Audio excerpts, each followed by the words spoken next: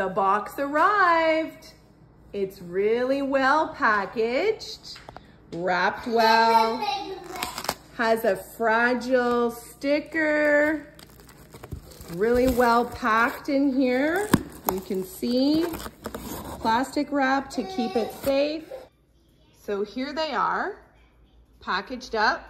I'm gonna unpackage them, take them out of the plastic wrap and give them a little bit of time to air out and get their fluff.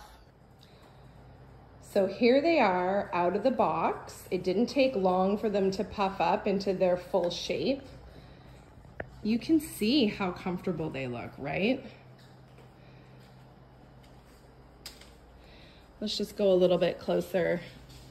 You can see it's actually really full, super comfortable.